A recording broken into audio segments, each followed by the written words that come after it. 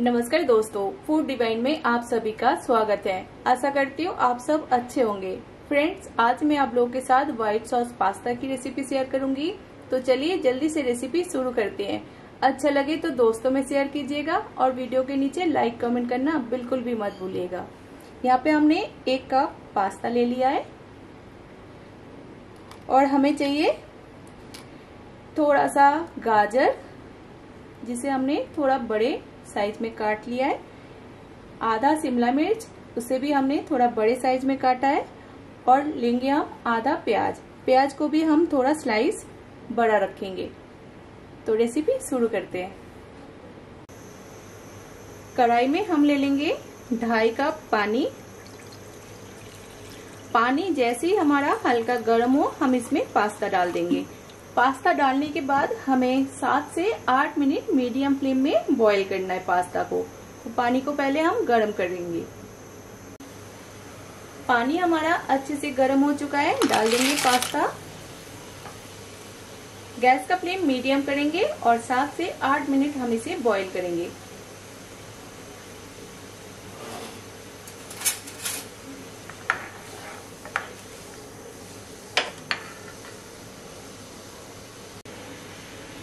डालेंगे। बिल्कुल थोड़ा सा नमक।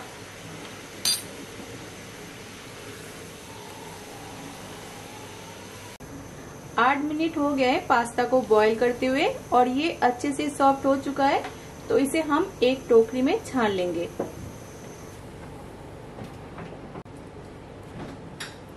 एक पैन ले लेंगे हम। इसमें हम डालेंगे दो चम्मच ऑलिव ऑयल मैं ऑलिव ऑयल से बना रही हूँ। आप चाहे तो कोई भी ऑयल ले सकते हैं। तेल को हम पहले गरम कर लेंगे।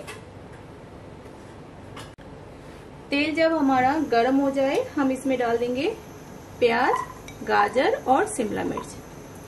बस दो मिनट हाई फ्लेम में इसे फ्राई कर लेंगे।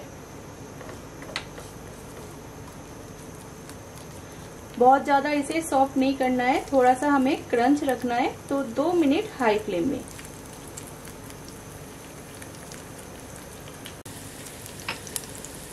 डालेंगे हम बिल्कुल थोड़ा सा ऑरिगेनो और वन थर्ड चम्मच हम डालेंगे चिली फ्लेक्स। थोड़ा सा लेंगे हम इसमें ब्लैक पेपर पाउडर। बिल्कुल थोड़ा सा डालेंगे। और चुटकी भर नमक। अच्छे से सब चीज़ों को मिक्स करके इसे हम साइड में रख देंगे। बस दो मिनट हमने इसे हाई फ्लेम में भुना है। और आप देख सकते हैं, इसका कलर बहुत ज़्यादा चेंज भी नहीं हुआ है और सब्ज़ियाँ बहुत ज़्यादा सॉफ्ट भी नहीं हुआ है। तो इसे हम साइड में रख देते हैं। अब हम बनाएँगे व्हाइट सॉस तो उसके लिए हम इसमें ले लेंगे डेढ़ चम्मच बटर साथ ही हम यहाँ पे डालेंगे डेढ़ चम्मच मैदा।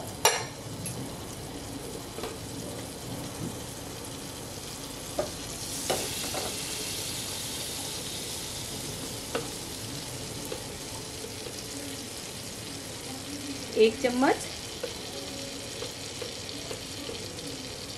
और आधा चम्मच। अच्छे से हमें इसे मिक्स करते हुए भूनना है। बस कुछ ही सेकेंड।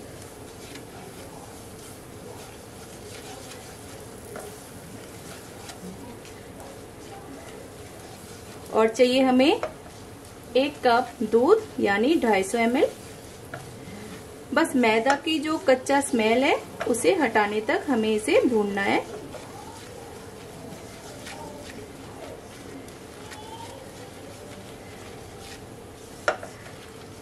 अब हम यहाँ पे डाल देंगे दूध।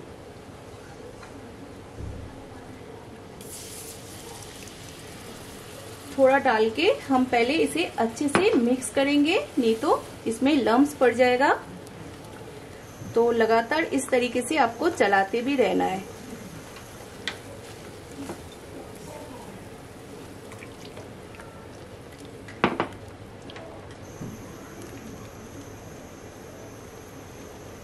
स्पैचुला से थोड़ा सा इस तरीके से दबाते हुए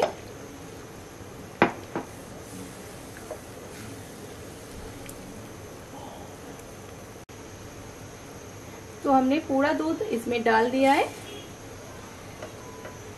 इसमें हम डालेंगे थोड़ा सा ऑरिगेनो थोड़ा सा चिली फ्लेक्स चिली फ्लेक्स पहले भी हमने डाला था, बिल्कुल थोड़ा सा हम डालेंगे। बिल्कुल थोड़ा सा। साथ ही हम डालेंगे थोड़ा सा ऑरिगेनो नमक डालेंगे बिल्कुल चुटकी भर।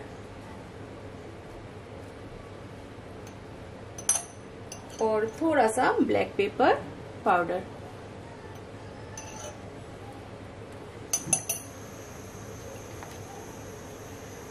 बस एक मिनट हम सॉस को पकाएँगे.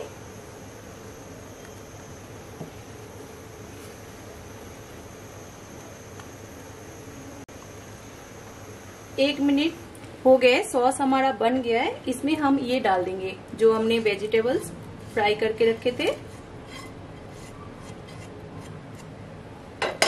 अच्छे से मिलाएँगे और साथ ही हम यहाँ पे पास्ता ऐड कर देंगे।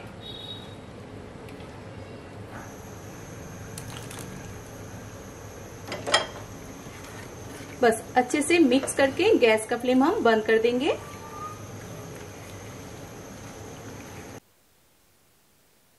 पास्ता डालने के बाद हम इसे ज़्यादा नहीं पकाएँगे, बस अच्छे से मिला लेंगे, उसके बाद हम गैस का फ्लेम बंद कर देंगे। तो पास्ता हमारा बनके रेडी है, हम इसे सर्व कर लेंगे। आप चाहे तो यहाँ पे चीज़ भी ऐड कर सकती हैं, लेकिन मैं गार्निशिंग के टाइम में थोड़ा सा चीज़ ऐड करूँगी।